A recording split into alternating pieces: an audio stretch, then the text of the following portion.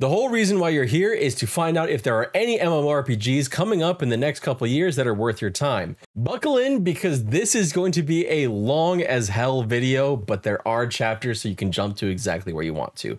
The MMORPG landscape over the last decade or so has seen a lot more misses than hits. It's been a genre starved for something new and just generally good. We are far removed from the gold rush of the mid to late 2000s when companies tried to push MMOs out the door to capitalize on the success of World of Warcraft. Quite frankly, the state of the MMORPG genre right now has felt a bit stale. It's the end of the copyright genre has allowed for some innovation with newer games like Guild Wars 2 and kind of like shifting the way that you play games, Elder Scrolls Online, BDO, but the, the genre feels stale because most of the games that most of us are playing are at least four to five, six, seven years old at this point. The games that we are getting just aren't what we want, and that has us looking to the future and what might be, what possible games could we get that may actually fill that void that we've had since our last great MMO, the one that we personally love, whatever that game is for you. Anyone who's been watching the genre for any amount of time has felt that desperation, that need and desire for something new, something good. And the following MMOs may just be that. Or they may be absolute shit and terrible and or they may never even launch. It is a very real possibility with all of these MMOs. I tried to gather as many as I could, just kind of hoping that one of them hits. Please. just one. We'll come back in a in couple years to this video and uh, you know see if any of this actually made sense at that point, or if none of them worked. That's depressing. Let's move on. We're going to look at all the MMOs I could find that are potentially coming out in the next couple years and cover three things I'm excited about and one big concern with each one. I'll add some of the usual disclaimers here that this list, as extensive as it is, I am absolutely going to forget or miss out on some MMOs that you are very, very eager and passionate about. So that is when you can put in the comment section below the MMO that you really want to see, the one that you're super excited about. Let us know because then we can be excited about it too. And then finally, a quick note on the negatives. It felt too easy to just have the negative for almost every single one of them be, well, it may not come out. So I tried to avoid that and give you something a bit more constructive with each one. But that's enough of me talking like this. Let's actually talk about the games. These are the MMOs that might be good. Dune Awakening. Dune Awakening is coming from a familiar name, Funcom. Funcom has for fans for MMOs, perhaps being a bit of a hit or miss developer and publisher. They are probably best known for Anarchy Online, Age of Conan, Secret World, and more recently, Conan Exiles. And now, now they're bringing us a new MMO with yet another established IP, Dune. And from the sound of it, it might pull as much from Funcom's successful Conan Exiles title as anywhere else. The MMORPG is being called a survival MMO. As they put it, rise from survival to dominance in a vast and seamless Arrakis, shared by thousands of players. Dune Awakening combines the grit and creativity of survival games with social interactivity of a large, persistent multiplayer game to create a unique, ambitious, open world survival MMO. Let's get into the positives and the negative. A sandbox style MMORPG with everything from base building to combat resource gathering, and even your very own freaking helicopters. It has a clear line of progression like you've seen in survival game, from starting with nothing to really growing your character beyond their level to where the style of play grows into something different. I mean, it's kind of hard to get much different from like a knife to like a bombardment from above, right? Speaking of bombardment or combat, the second part is going to be combat. They have something called Combined Arms, which Combined Arms just sounds damn fun, like taking Halo combat and throwing it into an MMO. From range combat to vehicle combat to melee combat, it'll be interesting to see just how these are balanced together. For example, how will melee stand up against range combat? And then will they both be inferior to vehicle combat? Will they be augmented by vehicle combat? In a PC Gamer interview, they talked up the fact that they'd have both ground and air vehicles all intermingling with swords, knives, rockets, and miniguns. We have a broad spectrum of combat capabilities. We have melee weapons like knives and swords. We have range weapons. Uh, then we have ground vehicles and air vehicles. They all come with configurable capabilities like las guns, rockets, um, miniguns, things like that. Uh, you will be fighting on foot, you'll be driving vehicles, you'll be flying in ornithopter, and it all comes together there. It honestly sounds very chaotic, which I guess is kind of the point. But it'll still be interesting to see how it plays out, because in my experience with Funcom games, combat has never really been the necessarily the highlight. Even in Age of Conan, the game that they were trying to kind of innovate on the genre with directional kind of action tab combat. It, it feel, felt clunky. It still feels clunky to me. That may just be my personal opinion, but I I really disliked Conan's comment. I loved the animations and things. They were brutal and and and for the time they were beautiful, like graphic, graphically wise. But the the whole directional thing was just it, it ended up feeling like unnecessary later on. Apart from anything else, why haven't any other MMOs used it since then? And if they have, correct me in the the comment section below. It helps the it helps with, you know, the whole algorithm thing. The final positive is going to be the environment itself and the fact that it's actually going to be hazardous. A lot of MMOs have often kind of gone away from the idea of PvE meaning environment and instead talked about PvE in terms of player versus enemy.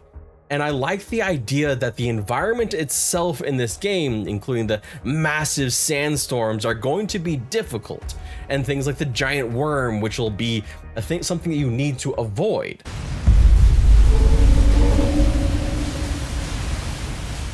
But they've also talked about how you will eventually be able to use some of these things to your advantage. Specifically talked about the sandstorms being used to your advantage. Perhaps I can imagine something using a, a sandstorm as coverage for going in and attacking an enemy base, for example.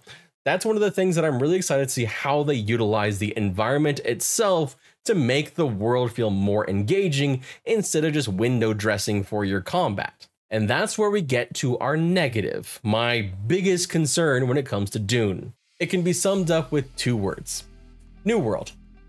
The reason why I say that is because when New World was in development, it was actually supposed to kind of be this. It was supposed to be a survival, you know, PvP MMO.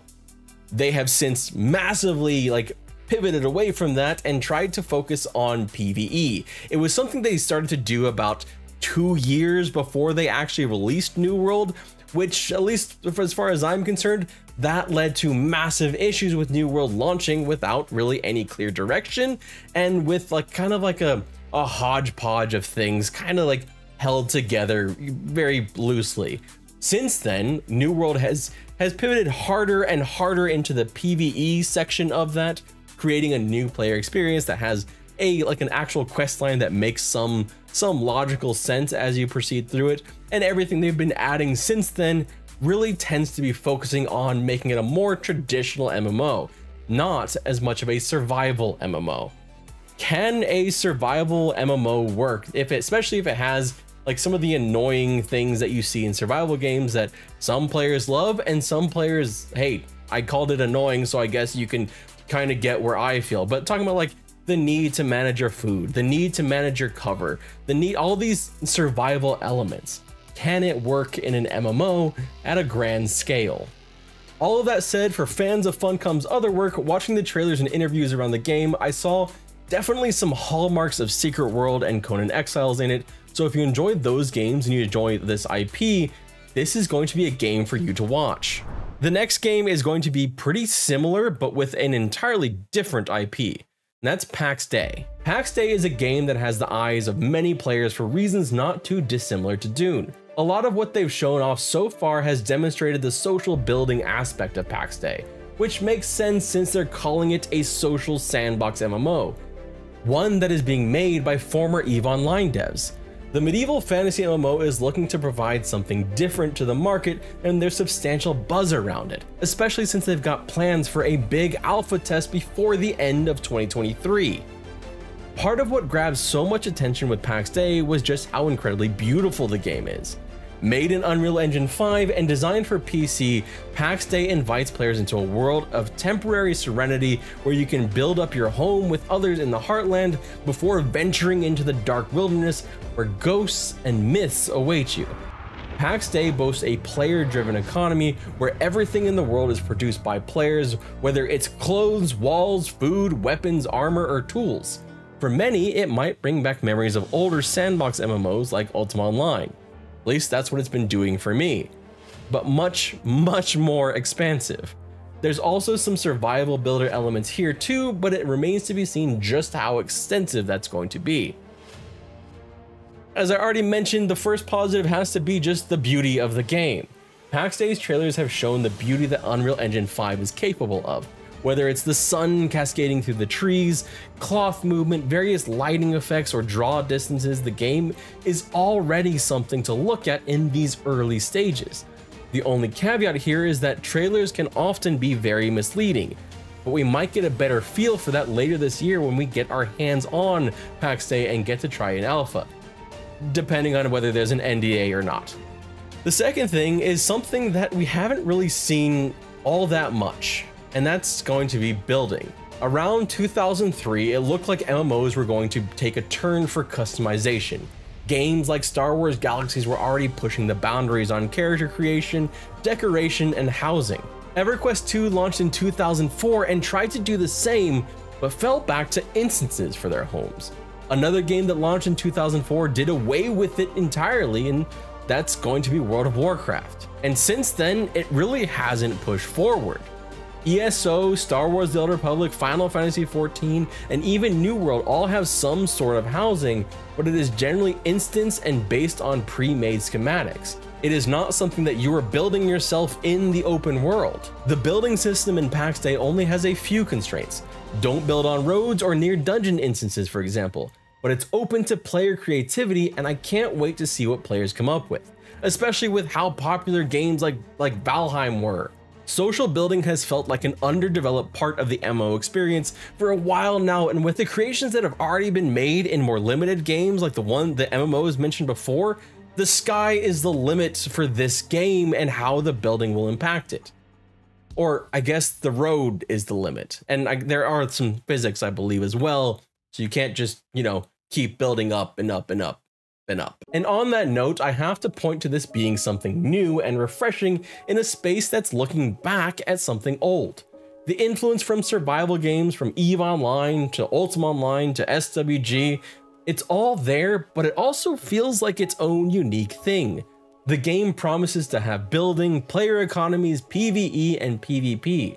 They want to make everything you do in the game feel impactful and important, and th all of this despite not having any normal cities, only player cities, which brings me to my next point and my potential fear. It is going to be a world that completely relies on people, which is kind of a double-edged sword. One of the greatest strengths of an MMO that makes full use of user-generated content is the unique experiences and impactful moments that happen from it. From PvP guild wars to huge player towns but it's also a frail column. Every piece that gets removed, every batch of players that move on or give up, weaken the game until it eventually all fails. From playing games like Crowfall, Shadowbane, Ultima Online, Warhammer Online, and SWG, all of which had deeply important social components in different ways, to having a core gameplay loop, or lack thereof, that didn't require the active populace creating content was important to the future of the game. What will happen when player numbers shrink on a server? Servers which are expected to hold up to 7,000 players. Will large swaths of the heartland become open and useless? Will portions of the game that were once interesting become bland and boring? That's my concern. This next game, anime fans, it's time to rejoice. At least for now, until everyone gets pissed off about monetization. But for now, we're excited about Blue Protocol. In an MMO described by the franchise lead as anime come to life, Blue Protocol looks like it'll be launching globally in 2024 after releasing on June 14th, 2023 in Japan. Blue Protocol is a full-featured MMO that is being developed by Bandai Namco and published in the West by Amazon Games. It boasts a large open world, extensive character customization, and a dynamic action combat system. In this system, everything will happen real time and each class will have four skills that are customizable with skill points as you level up, determining on how your class plays. Because I haven't followed Blue Protocol very much, I went over to MMOByte.tv to check out what Styx has to say about Blue Protocol. And if you're interested in the game at all, I would highly recommend both checking out Styx's MMO channel as well as the website. It is a website that is designed in such a way that it gives you the most so much valuable information so easily and readily available. I cannot tell you how much Styx's website helped me with this video. So thank you if Styx, if you're seeing this, thank you so much for putting that on your website. I appreciate you. I have linked Styx's website down below, so please check it out. This game is going to be for players that are looking for a more action-based, I can do everything type MMO. At least that's the vibe I'm getting from Blue Protocol. Looking at their classes, all six appear to be different flavors of DPS. I wouldn't go into this expecting class roles and interdependency. In fact, it's been stressed that Blue Protocol can be played either solo or with friends. All dungeons in the game can be soloed, but you'll also be able to head into them with other players either through matchmaking or picking a specific group. The dungeons will scale in difficulty with the number of players. It's a sort of optional solo optional co-op version of MMO play. As for other PvE content, there will be raids focusing more on individual bosses and less on long sprawling dungeons or planes like EverQuest or World of Warcraft. To be more like, I guess, Final Fantasy XIV, where you just go and kill the boss for the most part. Blue Protocol will be free to play with microtransactions, the depth of which remains to be seen, but there will certainly be differences between the current Japanese version and what we will get here in the West next year. At the moment, there is a season pass as well as a premium store with an alternative currency, though there have been promises that store items will be cosmetic as to avoid pay to win.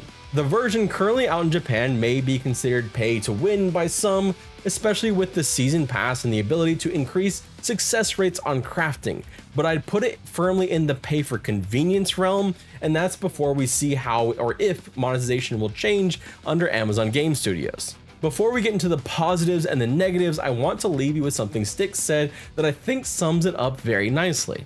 This is a large AAA budget full action combat anime MMO, the only one of its kind other than PSO2 New Genesis. It's going to be narrative driven with lots of story content.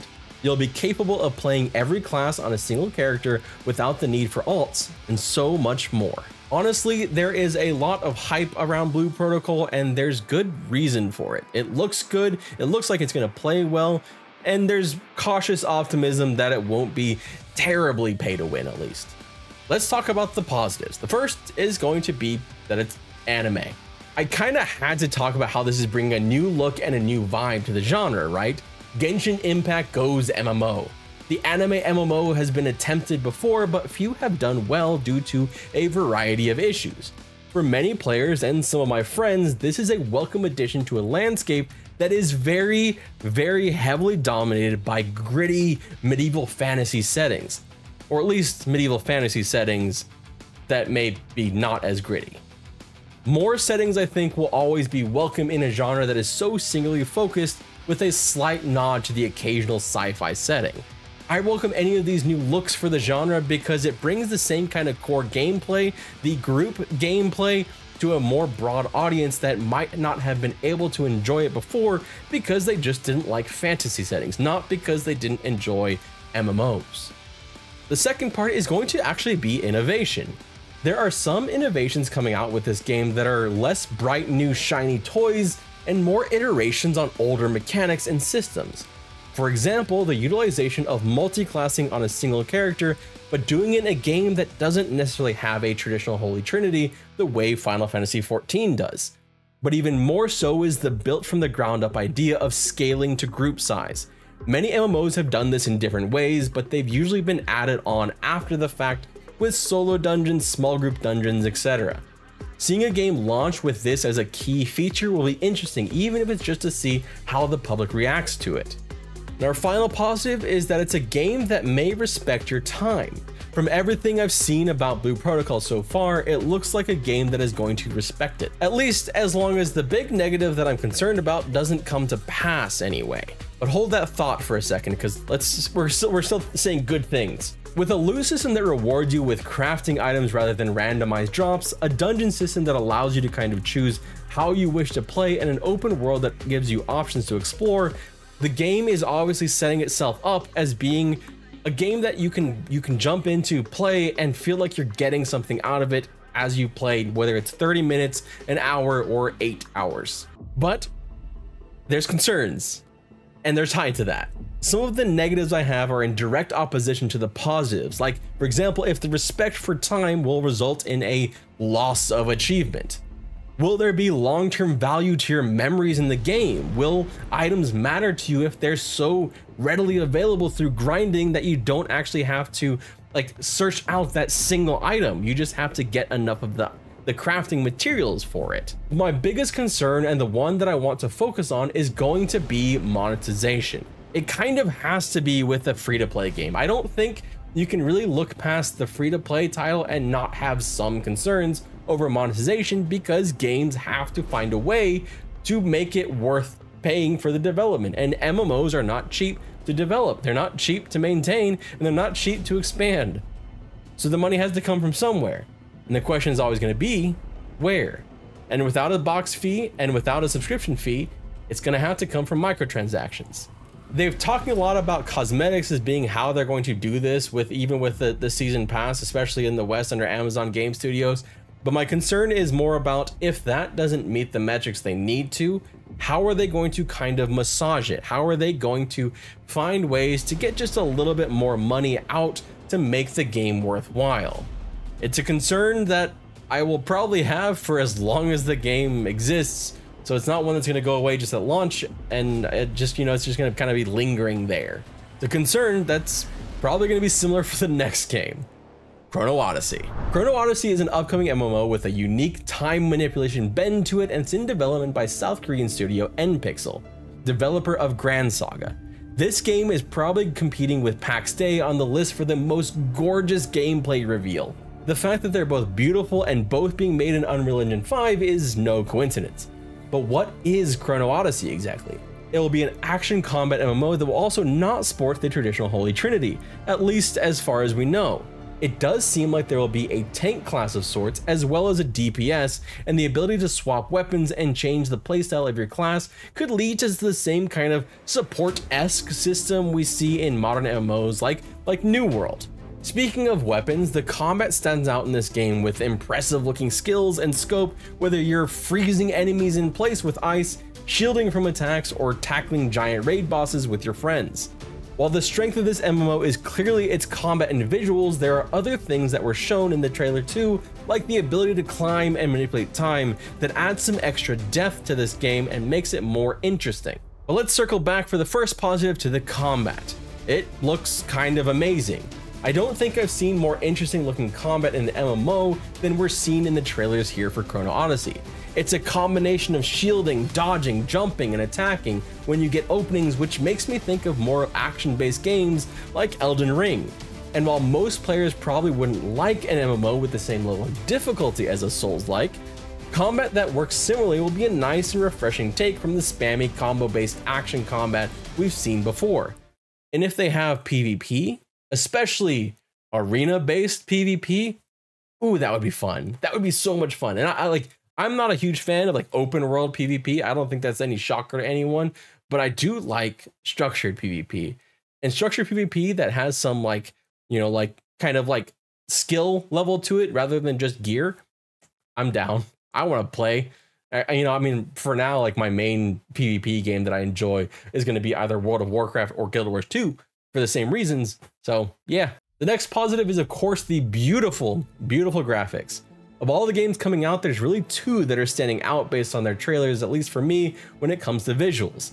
but I think Chrono Odyssey has the edge over Pax Dei just because the sheer amount of action that we have been shown in the trailers, the sheer amount of story and and and crazy looking bosses that we get to see.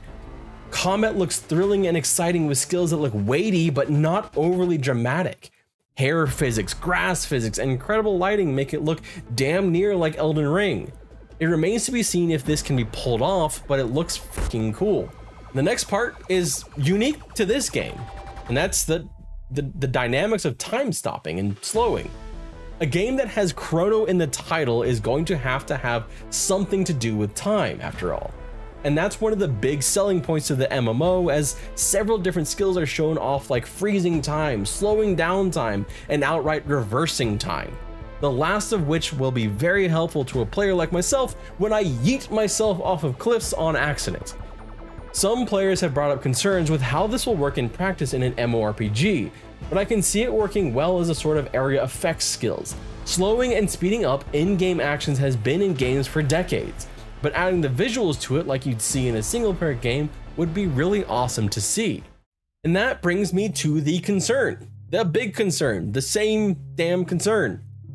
Monetization, it kind of has to be. And I also have MMO MMObyte to thank again because they're the reason why I'm so concerned about monetization. Because they dug up info on Gran Saga, the previous game released by NPixel, a gacha style game. Gacha meaning a loot box style game that uses randomization and has been used extensively in games like Genshin Impact. While sometimes controversial, even running into legal battles, the model is lucrative for companies willing to use it, and Gran Saga reportedly made a billion dollars using this system. So for players that are averse to gacha systems like myself, who honestly cannot stand these sort of money draining in-game randomized systems, it'll be something to watch carefully. For me, if Chrono Odyssey makes weapons or something like that part of a gacha system, like it's gonna be a skip. Like I, I, I, no matter how good the game looks, I wouldn't just wouldn't have fun playing a game like that.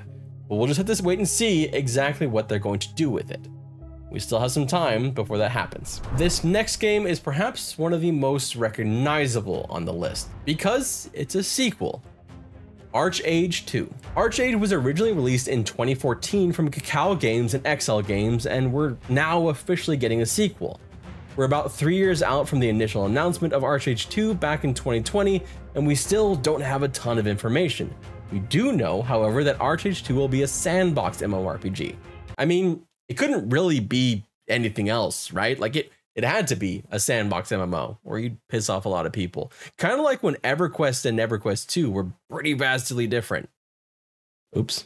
There will be extensive player housing, ships, and naval warfare. It'll have action combat and non-linear progression. Despite having precious little information about the game, we might actually be getting it sooner than most of these MMOs on here, as quarter two financial reports from Kakao Games target the second half of 2024 on both PC and console for ArcheAge 2.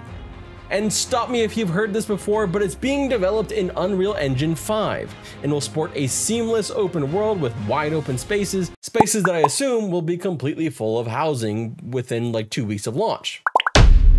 It should be noted that a lot of the information out there is assumptions based on what the first ArcheAge was like, besides the little bit we got confirming action combat, group trade routes, improved and improved housing with towns and guilds. The first positive is just that it's going to be sandbox. There are few MMOs out there that are really in in true nature sandbox MMOs. MMOs that kind of let you decide how you want to enjoy the game. Things like crafting, things like building, things like combat, thing basically having the option to do multiple different things instead of instead of kind of guiding you just towards one thing and only one thing. Whenever I think of a sandbox MMO, I, I don't know why this is these are the two MMOs that come up, but Star Wars Galaxies and Ultima Online are the two games that are always to me the the representation of what a sandbox MMO is. A lot of other people will have different ones, but that's kind of what it is for me. Hopefully it's kind of like that. Second is going to be PvP because there's really not a lot of games out there that are going to be focusing a ton on PvP. ArcheAge is known for its PvP, and seeing naval PvP in Unreal Engine 5 is just gonna be awesome to see. I can't wait to see how ArcheAge 2 harnesses that engine. They're also going for a more action style combat with this addition of ArcheAge, and I think of the, the games going this way, it's the most likely to have the most extensive PvP using that combat. Last is going to be building, which is going to be a common thread with a lot of these games in Unreal Engine 5 because I'm excited to see how they they take on on building different housing and things like that. A lot like with Pax Dei. And it's the same for ArcheAge 2. Housing is an important part of ArcheAge, and it'll be interesting to see how it plays out in the sequel. Non-instance homes, player cities, and towns all sound great, which is something we got mentioned in the, in the video back at the end of 2022 from Kakao seeing how they they implement housing in this game and the non-instance housing specifically with the ability to build is something I'm really excited to see. But it's Kakao. Monetization is a concern. I personally never got into ArcheAge because of one key factor, labor points. Labor points in ArcheAge are essentially the currency to do things in game, limiting your crafting or harvesting.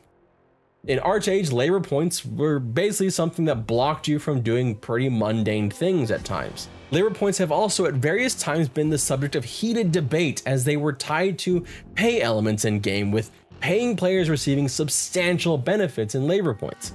It was a system I freaking loathed. Time locking basic content and then encouraging pay for the same content? Honestly, there's no telling if ArcheAge 2 will have a similar system in place or not, but until we get an idea of exactly how the game is going to monetize and how it will work, I have reservations based on experiences with the first game. These next MMOs are going to be the indie MMOs, MMOs that are coming from independent developers that a lot of us may have been waiting for decades or more. First, let's talk about Corepunk, perhaps the game that is most likely to launch soonest out of the indie MMOs. For a while, Corepunk looked like we'd be getting the isometric MMO sooner rather than later, but the top-down MMORPG from Artificial Core has faced some difficult delays, some from their studio, others externally. While Artificial Core is based out of Amsterdam in the Netherlands, the studio's core development studio is located in Kiev, Ukraine. It's an MMO that's described by IGN as being part Cyberpunk, part Diablo, and part Ultima Online. It'll feature a seamless open world and a refreshing setting that intermingles fantasy elements with futuristic sci-fi. My first positive for this game, some of y'all are going to laugh. I am well aware that this positive sounds silly. I get it.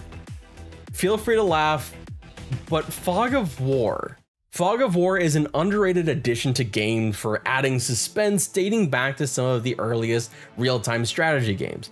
Going around a corner and being shocked by enemies is harder to achieve with top down, so the fact that they've included Fog of War to keep the suspense is a good sign to me.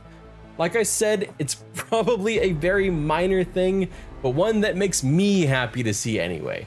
I guess the secondary part of pointing out Fog of War in the first place could also be the fact that the game is top down, something that is underrepresented in MMOs with the exception of games like Lost Ark. But this game will have a much more stylized look and hopefully a lot fewer microtransactions. This game will also follow the path of several MMOs before it on this list and present options for the player. While I personally prefer a game with a heavier push toward group play, having options is a benefit for a wider adoption, and Corepunk has set out to be an MMO where virtually everything can be done solo, with the exception of raids and world bosses. There's an interesting function here that for many players, they may see this as either a positive or a huge negative, but it bears speaking about. In Corepunk's frequently asked questions, they mentioned that you can obtain the same item levels and character development playing solo. It'll be interesting to see how they balance this and how they find ways to still incentivize grouping up, lest the game become ultimately a solo game you see people in, or maybe a bit like Diablo 4, for example. The last positive is just going to be the setting, the fact that it is a fantasy cyberpunk sci-fi MMO. It's new and kind of fresh to the genre. I think I'd be less interested in Corepunk if it was just another fantasy setting or a dark fantasy setting like Diablo. It's not that those settings are bad, it's just that they're kind of overrepresented. So whenever a game tries something a bit different, a bit new, it's nice to see with my old eyes. And Corepunk is doing it in a way that nods to the familiar with the fantasy elements mingling with the sci-fi cyberpunk elements, so it's kind of creating its own thing. So props to them for taking a chance on a newer style in a, in a way, a newer setting, their own setting. But there's also a concern I have regarding what they're doing in that setting, and that's their character limitations. I worry about an MMORPG that takes out a huge part of the RPG part of it, creating your own character. There are of course single player games that do this well, and we are still considered RPGs, but for an MMO where you're going to be seeing other versions of yourself, at least somewhat, it can be immersion breaking. I suppose in some ways it's a bit like League of Legends in that aspect, so it's possible to overcome it with gameplay, but it was perhaps one of the things I liked least about another pseudo MMO, Vindictus. I don't have player identity because the player wasn't actually mine, it was created by the studio. But that said, recent developments with Corepunk over the last couple years, I guess it's not really recent, but after investigating how Corepunk is, is handling character creation, has assuaged some of these concerns for me. Because even though there are going to be limitations, where for example, you're not going to be able to make a mercenary into an orc or an orc into a mercenary, you're still able to make your own character through through pretty robust customization of appearance, as well as different types of weapons and things like that. Each of the classes or heroes will have three weapon masters to choose from that have unique abilities and gaming styles, as well as 10 branches of passive talents. You'll also be able to customize your character's look within the framework of the hero. Your character is going to be able to visually look different from another character.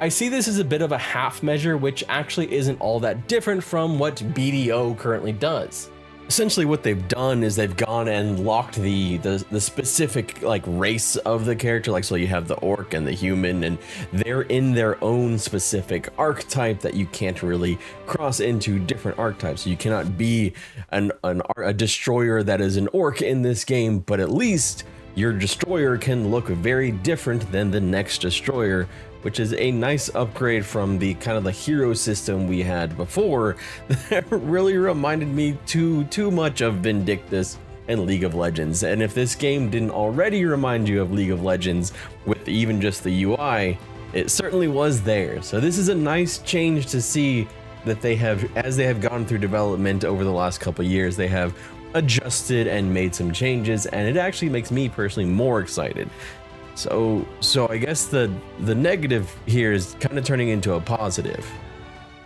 This next game is an interesting one. Camelot Unchained. Camelot Unchained was first announced all the way back in December of 2012 with a teaser trailer from Mark Jacobs of City State Entertainment. Mark Jacobs has an extensive history with some of the most interesting and well integrated PvP MMOs, including Dark Age of Camelot and Warhammer Online as the lead designer for both games under Mythic Entertainment. Camelot Unchained for many feels like a sort of spiritual successor to Dark Age of Camelot, consisting of three realms with massive RVR battles. You know, and I'll be straight up here, the positive points here were difficult. And it's a lot with how I feel like the game has mishandled some of the trust in it over the last couple years, in a way some other indie MMOs have as well. But it's also how some of the idea of the game, the very basis of the game, may have actually already been done by a game that kind of failed in Crowfall. Let's get into the positives and the negative. Camelot Unchained is a tri-realm RVR focused game with the entirety of the game built around realm versus realm PvP. This worked exceptionally well in Dark Age of Camelot and was a focus for Warhammer Online and how the game suffered because it didn't have a third realm to help with balance that out. Both of those games were under Mark Jacobs, so if there's a team that could do RVR well, you'd imagine it would be the one that is led by Mark Jacobs. The second positive is that there will be pretty extensive crafting and building. They seem to be approaching crafting and building as an important part of the process, one that will feel rewarding in itself and be essential to the game. I, I told you that these were, you know, I told you that the, the, the positives on this one were a little hard. I apologize. They're kind of short. The next one is just size. As early as one of the Kickstarter, Camelot Unchained has talked about the sheer size of their battles. Back then, they were aiming for 500 to 1,000 players in a battle at a time, and for years after the Kickstarter, they showed impressive scale using their own engine. The goal is to have these massive battles while maintaining performance. Now, I mentioned at the beginning of this video that I wasn't going to use whether a game would or would not release as a negative. It was hard not to do that with this game. But the clearest point I could make about Camelot Unchained in, in the negative is the frustration that's bubbled up around the game over the years as they appear to have made similar mistakes to other indie MMOs, like creating a second game among a myriad of delays. But perhaps more so, the game has struggled through many, many more delays, delayed refunds, which have marred what would have been brighter news, like the additional 15 million in investment the game received in 2022. I'd have preferred to point to concerns about the singular focus on RVR, lending the game to follow the same path as Crowfall, which ultimately did fail, but I think the bigger concern is the missteps that City State over the last years has continued to make. To fans of, of Camelot Unchained, I apologize that I couldn't be more positive about this game for you. But if you want to be more positive about it, please let us know down in the comment section below what are the things that you are excited about with this game. Moving from one somewhat less polished and less happy version of indie MMOs to one that was, at least in 2022, the darling of the indie MMO space, Ashes of Creation. Can an always on PvP VE MMO work? Can it work on a grand scale in Unreal Engine 5 that uses a node building system that has the potential to make each server somewhat unique? Can it do it all while adding in fast, engaging combat? thrilling PvE and PvP battles, evolving stories, beautiful weather dynamics that impact your character, all on the budget of an indie MMO. That's what Ashes of Creation is hoping to answer, and it remains one of the greatest hopes out there for anyone who hasn't forsaken indie MMOs just yet. And it might actually be in good company, because one could argue that the most successful indie MMO so far is actually in some ways very similar. Always on PvP MMO, Albion Online. Many would argue that Ashes of Creation is trying to do this as on a much grander scale though, and not just because it's in Unreal Engine 5. Of Creations made the decision to move to Unreal Engine 5 last year and it's been paying off. Not only did the new beautiful visuals catch mass attention from the, for the game even from huge MMO content creators like Asmongold and Lazy Peon, but it makes the game look more contemporary. This is especially so in the environment where you can see the weather dynamics that they've shown off. Weather that is really, really making the game feel immersive and exciting even without having played it. Speaking of contemporary, of Creation is going to have a sort of hybrid combat between action and tab target. The combat looks like it'll be somewhere in the middle, which sounds perhaps the most like Guild Wars 2. There's even going to be the ability to toggle between the two different targeting systems, a tab target system and an action combat system. There's something to be said here about trying to give give a sort of like a, a choice to the player, players that are pretty diverse in their opinions on how much they like or hate either type of combat. So giving an option will be great if they can manage to balance it at least. But I couldn't get past the pause without talking about perhaps the most unique part of Ashes of Creation, and that is the node system. Nodes will essentially be the world of Ashes of Creation. Villages or potential massive cities all created through player input. This is different from player crafted cities like what they mention in some of these other MMOs like ArcheAge2 and Pax Dei. This is deliberate growth of certain areas of the map at the expense of other areas. Nodes are pre-formatted based on various factors, including the dominant contributions of players from their race to the, their type such as divine, economic, military, or scientific. Nodes lead to both PvE and PvP content and are, as far as I can tell, the backbone of the game. They are also the most interesting part of the game that's not really done in any other game, at least not to the extent that they're doing it. The negative for Ashes of Creation for many people is going to be about launching and, and things like that. But for me, it always comes down to one thing. One thing that the, the MMO genre has shown for years is a tough sell. And that's always on PvP that has a negative to it.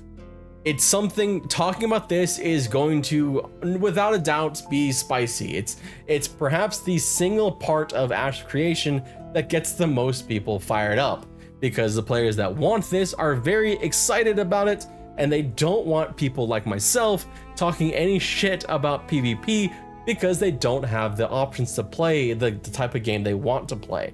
And people that hate PvP are kind of in the same camp that I am, thinking about this pseudo hardcore PvP style, always on PvP, where you don't get to opt in. It's just how the game is, as being a big negative and something that may make them shy away from the game. Now, if Ashes of Creation were just trying to be the biggest, best PvP MMO, I think it's completely fine. The problem I see is that I don't think that is the goal of Ashes of Creation. I feel like they're trying to redefine the genre and create a massive game, a huge MMO. It's it it just seems like their aspirations are much larger than perhaps the market is for a game that forces you to have the potential to be ganked by people. It's just kind of how we've seen the genre go. Ultima Online added Trammel. World of Warcraft got rid of their their always on PvP unless you're on a, even even when they, they even got rid of the PvP servers, I think, and now it's all opt in PvP. Everything has kind of shifted away from forcing you to engage in PvP. It's not to say there aren't other games out there, Mortal Online 2, I believe EVE Online as well. There are games out there that do have a non opt in, opt out way. But even newer MMOs like New World, a game that was built upon the foundations of PvP, you have to opt in. It'll be interesting to see if they can do it. A video this freaking long. My dinner is waiting. Shit. Okay, but onward to the next game. Pantheon, Rise of the Fallen. Pantheon Rise of the Fallen is an in-development MMORPG from Visionary Realms. The game was the brainchild of Brad McQuaid, who sadly passed away mid-development, with the team deciding to carry on Brad's vision and finish the game. Like many of the games in this list, Pantheon has had a bit of a tormented development cycle, with several changes along the way, perhaps none quite as consequential as the new changes in art style which you're seeing on screen now. Pantheon is a PvE focused MMORPG that hopes to bring back class interdependence, difficulty, and some of the social aspects of MMOs seen more in older games like EverQuest and World of Warcraft Classic. It hopes to do this in a modern way by using minimal action sets for combat, unique traversal mechanics like seamless climbing, and an innovative lore delivery system called Perception. It's also the only game on this list I've actually played. Okay, well not quite, there's one, I think there's one more, but it's the one that I've played the most extensively and actually enjoyed. Class interdependence is key to Pantheon's build, perhaps more so than anything else. The game has from the very beginning been about class roles, and it's why so many former or current EverQuest and WoW Classic players have flocked to it. It's promising an updated version of that type of game that they loved, and one that is increasingly rare, as one can see from the myriad of AAA MMOs in this video that have been moving further and further away, not just from the quaternity, DPS, tank, healer, CC support, but also the trinity of tank, healer, DPS. Many upcoming MMOs seem to be homogenizing classes into utility DPS, meaning there's no interdependence even when grouping is there. Pantheon seeks to change that and return to a quaternity where classes work together to overcome challenge. Speaking of challenge, that is another huge part of this game. Things like enemy dispositions are designed to make each encounter difficult and different, making players think about how to engage and handle situations as they arise. Collecting up to tens of enemies and destroying them with AoEs isn't the name of the game here. Each enemy is supposed to be a challenge, and with your limited action sets, you're expected to have to make the most of some of the more difficult choices with what skills to use instead of just spamming whatever's available. And the final thing that I want to point out here as a positive is near and dear to my heart, and that's lore and story, specifically lore. The way Pantheon is talking about using perception, which pings at you, urging you to discover more, or not, is a very interesting and immersive way for the game to unfold its secrets for you. I think it's a way that many players who may normally skip through the dialogue will actually get to enjoy the story the game has to offer. It feeds it to you in a more organic way that's not as as basic as just seeing a scroll and looking at it, it's more like unraveling mysteries and making it more engaging and, and active. Concerns for Pantheon come down to scope a concern that could perhaps apply to most of these MMOs, but maybe more so with Pantheon since it relies heavily not on player created content the way a PvP or sandbox MMO does, but on content created and maintained by a team, a small team. For Pantheon to be successful, they need a full and immersive world that promises adventure. dungeons with enemies that will be memorable, combat that will be challenging, and a world worth traversing. Basically, the concern with Pantheon is simply can they substantially fill out the world? Can they create enough content with the team that they have? We'll end indie MMOs with something completely different, and that's Eternal Tombs. Eternal Tombs was formerly known as War of Dragnaroks. For this game, I'm going to diverge a little bit from the positives and negatives format to give a general overview of the most interesting aspect of it. A live dungeon master. Described as a dynamic warfare MMORPG where the dungeon master shapes the world as you play, Eternal Tombs rebranded recently because they made a big change in their combat moving from tab targeting to more of a unique style of combat that's not as arduous or boring as the previous tab target combat style they've been using. But the most interesting part of this sandbox MMO is that they're presenting it as the ultimate D&D-like experience for MMORPG players on PC. The way this will work is they're having staff members who play alongside the community as dungeon masters. If nothing else, it'll be interesting to see how this plays out, what power and limitations will be on these dungeon masters, and if it's maintainable. Live events in EverQuest and Ultima Online were some of the coolest things I ever experienced in an MMO, and Eternal Tombs looks like they're trying to bottle that excitement and make it into the core gameplay loop. It's one it's it's a gamble they're taking and there's a lot a lot of questions about it, but it's something so new and unique that I thought I'd at least put it on your radar just in case you wanted to check it out. Quick side note here on Eternal Tombs for fans of EverQuest, I talked to the creator of Eternal Tombs a little bit, and they mentioned that there may be a lot, a couple little Easter eggs in there for fans of EverQuest like, for example, let's say an island in the middle of a desert that may or may not have some specters on it. I don't know exactly what it's going to come up to be, but it's at least like a new and exciting take on on the genre, and I want to see what comes from it.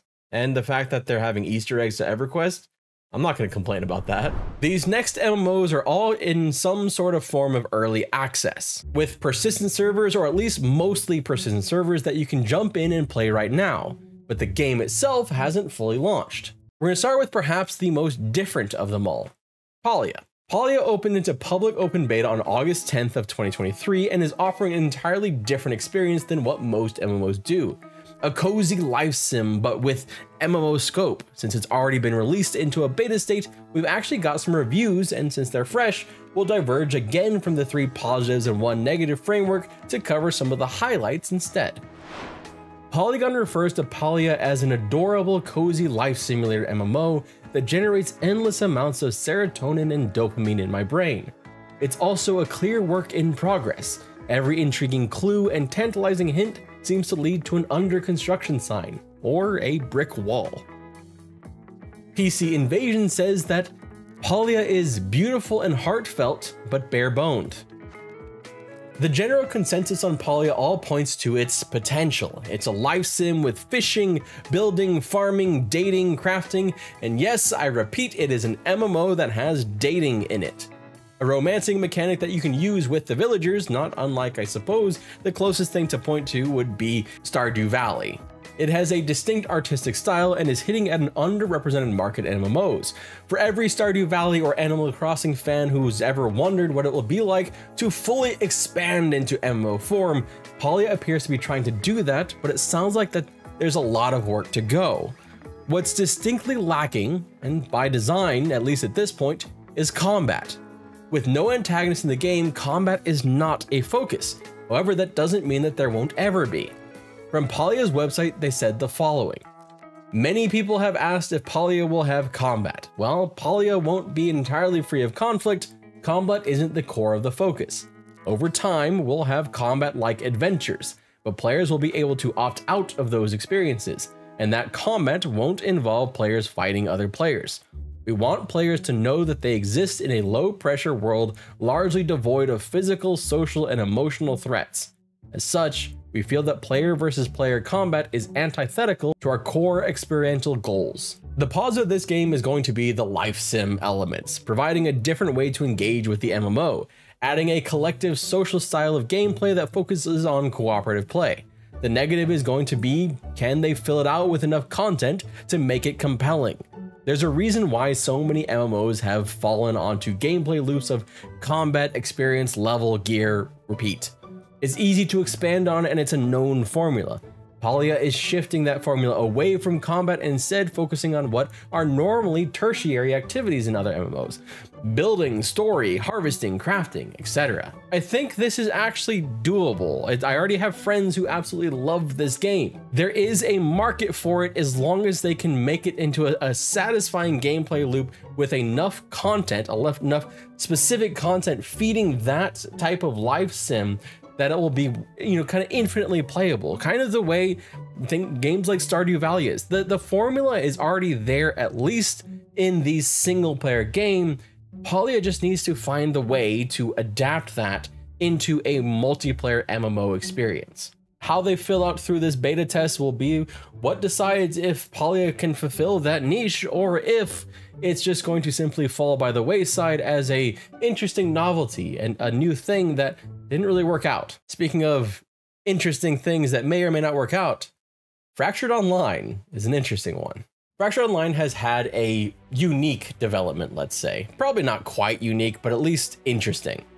I actually reviewed this game when it first came out into early access last year, and I found it to be intriguing but still very, very empty. It was a game in the vein of Ultima Online that lacked a lot of the key features that Ultima Online, a game that came out in 1997, had when it launched. A game that needed a lot more work, but that had some interesting dynamics to it, like the approach to PvP being world bound. Since then, Fractured Online has parted ways with their publisher, Gamigo, early in 2023. They pulled the game from early access and back into closed development. Later in the year, they opened up for a timed testing session and in September of 2023 announced a roadmap to early access, which stated the game should be entering early access in about 3 to 5 weeks, putting it somewhere in October or November of 2023.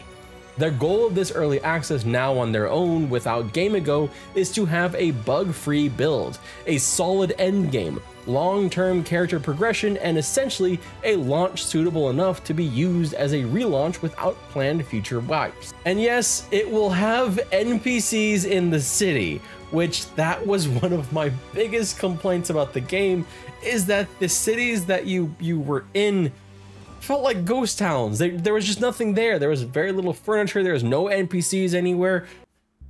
Hello? Hello? Is anyone here? Anyone? Hello? Why is everyone gone? The game just felt completely unpolished and unfinished, and I'm hoping that now with Dynamight completely in control, that they are able to kind of take over the game and and make it what they wanted to make in the first place without any excess from a publisher wanting certain things or rushing it out the door. I'm interested to see what they can come up with with this PvPvE MMO, top-down MMO that has more sectioned off PvP than other games have in the past. It reminds me a little bit of Ultima Online with Trammel and Felucca, and it's gonna be, I'm curious to see what happens because I've been personally waiting for a game like that, an updated version of Ultima Online, one that kind of hits the same notes in, in, in different ways. And there's some, there is some interesting things that they're doing here, like how you learn abilities by fighting other creatures. So it'll be interesting to see what exactly Fractured Online can do. If you want to see more about like what Fractured Online is actually about, I've linked that in the description down below. I was so, so tempted to put this next one in the indie MMO section, but I think it fits better in this early access section, and that's Star Citizen. Given its huge budget and the fact that it is currently in a playable state and a playable state that really costs about between 45 and $65, depending on if there's a sale or not, to actually enter the game and play. So really, roughly what you'd be paying for most early access games. Star Citizen for many people is going to be a, a more known quantity. So let's actually jump directly into the positives and the big negative when it comes to Star Citizen. The first positive for me when it comes to Star Citizen is the fact that it's shaping up to be a AAA sci-fi MMO in a market that has very few AAA sci-fi MMOs. There are the likes of EVE Online, Star Wars The Old Republic, and Star Trek Online, but all those games serve different functions, and one of them, notably Star Wars The Old Republic, has a bit of an uncertain future under a new developer at Broadsword. Star Citizen, if it launches and provides all it's promising, could truly shake up the landscape of not just sci fi MMOs, but all MMOs. Speaking of, spaceflight already looks pretty damn great in Star Citizen, and it's something you can see by tuning in to watch some streams on Twitch or YouTube videos of the game. Some of the things I've seen while watching Smashly over on Twitch are just freaking nuts. I got to jump in myself and, and play around with the, the space combat, and I was kind of like, I mean, I suck at that, so like I'm not the one to like to look at on on anything, but I, I was able to float around a bit, so that was pretty cool. I think that one, one of the things that was really the most interesting to me is seeing Star Citizen's flight not out in space where it just kind of feels, at least to me, a little bit slower, but on the planets where you're kind of flying around the planets. Something that actually has kind of been a, a criticism of, let's just say, another space game that may or may not be single player. I mean, hell, you can even use flight sticks in Star Citizen already. The last positive is going to be the fact that Star Citizen is going to be a full-fledged MMO that is socially motivated with ship crews and interdependence. It's, I believe, it's something that will set something Star Citizen apart from other expansive space games that we have already played like Starfield or No Man's Sky. It's going to be entirely different piloting a ship with your friends than with NPCs after all. But we also have to talk about the negatives with Star Citizen, and honestly, yes, there's going to be quite a lot of them, but we have to focus on one. Concerns over eventual release, concerns over scope creep and playability are all big, but the biggest concern for me, and I guess this is saying a lot about who I am as an MMO player, is monetization. It's not that Star Citizen is pay to win. In fact, there are several threads that go into detail explaining how multiple parts of the game can be earned. Paying for them is just a way to speed it up but that hasn't stopped players from putting thousands into the game, a game that hasn't actually fully released. Ships like the A2 Hercules reach as high as $750. $750 for an in-game item in a game that again has not released. What I have found in my research is that yes, you can grind for what seems to be a reasonable amount of time to get the very item that is selling for $750. But the fact that they are already monetizing in this way and providing these kind of shortcuts is a concern for me. And I understand that a lot of this is is part of how they figure to to to in, increase like you know the continued development of the game. But for a game that's already topped, like as far as we know, is the most expensive MMO ever, including AAA MMOs, it feels there's something off here for me. There's something about selling the ships, selling in-game ships that just feels off. And even if it's grindable, you know, like I, for me, that's that's my concern is just how is it going to be monetized?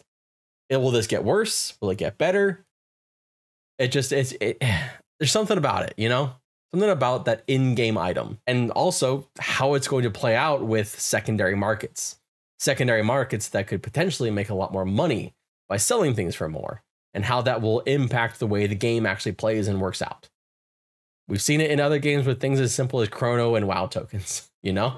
Now, in these next MMOs, these last MMOs we're going to talk about, we're going to have to completely diverge because these MMOs are, they're more than rumor, but they're very much like in the very earliest, earliest stages you could possibly be.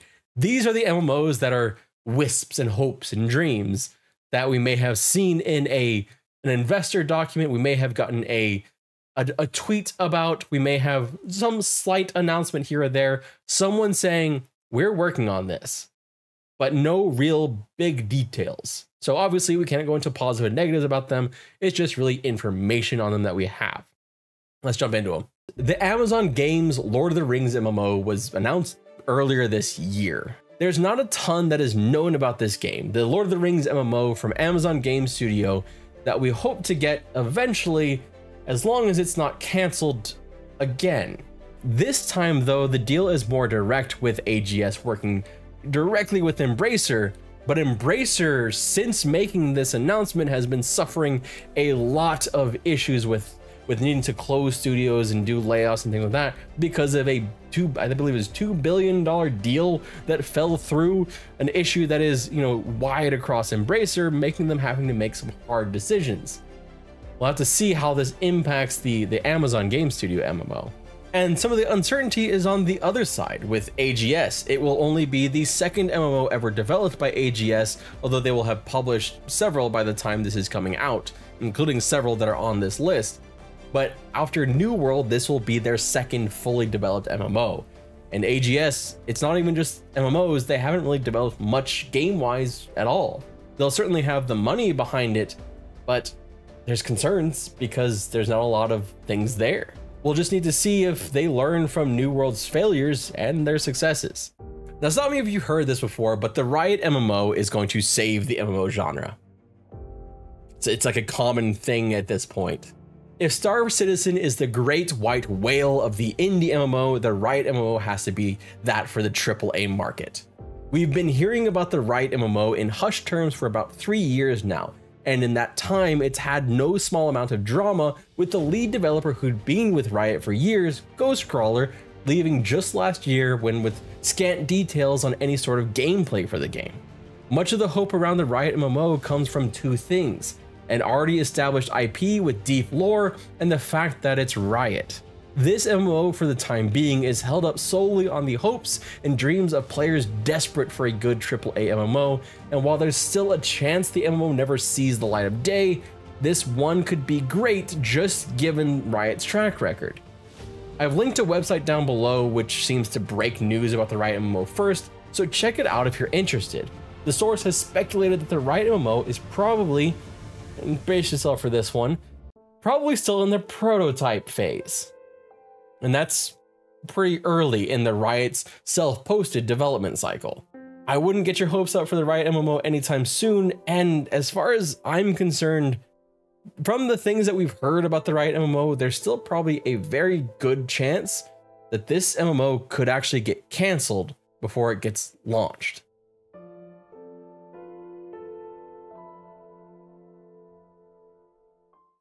So this is where I need to pause here because I actually had a whole section on Soulframe, the MMO, or at least the game that we thought was going to be an MMO coming from the creators of Warframe. At this point, I don't know that it's actually going to be an MMO. In fact, it's leaning more and more towards RPG.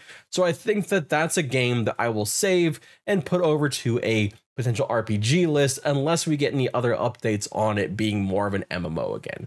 So that is why Soulframe is no longer part of this list. So from the news about Soulframe over to perhaps something that some people will not be super happy about. There's a couple MMOs coming from NCSoft. And no, I'm not just talking about one that rhymes with groan and injury. One is a third-person shooter MMO titled Project Triple L, which will be an alternate history sci-fi game coming to consoles and PC perhaps as early as 2024.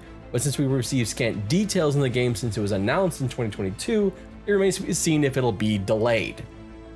After all, they may not want it competing directly with Throne and Liberty, which will be has also been delayed to 2024. More on that in a bit. They're referring to the game as a trailblazing project that incorporates keywords like shooter, MMO, and open world. It could be an interesting take, and with not many MMOs out there that focus on being shooters at all, and certainly not third-person shooters, it could fill in a, a space in the in the genre, but there's some concerns around it, and with you know just how we don't have much information on it.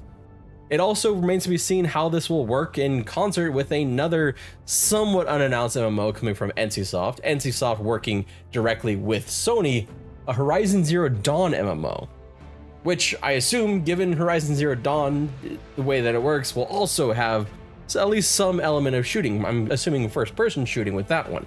That one I think is one that I'm a little personally more interested in just because the setting sounds more interesting. Now this next one, this one we got news about as I was writing this script. So it's a good thing that I took a while to get this script done. EverQuest 3 or EverQuest Next Next or whatever we want to call it. EverQuest 4 because there's also EverQuest Online Adventures. Whatever it is, we might be getting one. As EG7 is wont to do, we got a bombshell report from their market day for investors, and EverQuest 3 is under consideration for development starting in 2025 with a targeted release of 2028. The approach with this game seems to be to build off of knowledge of prior EverQuest games, meaning its budget and development time could be less. At least that's what I'm kind of speculating based off of some of the things they were talking about around this announcement of EverQuest 3. That they were looking at how From Software made Elden Ring for about $30 million by making the same game several times before.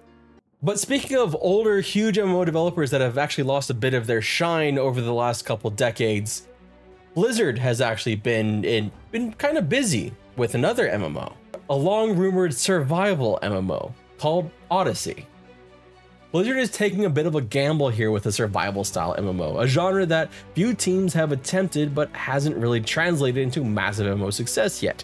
Even New World, which had the hallmarks of a survival PvP MMO, pivoted mid-development to become more PvE focused, a path continue they continue down to this day. We know that Odyssey will feature PvE combat, hunting, building, crafting, and even the possibility of player shops.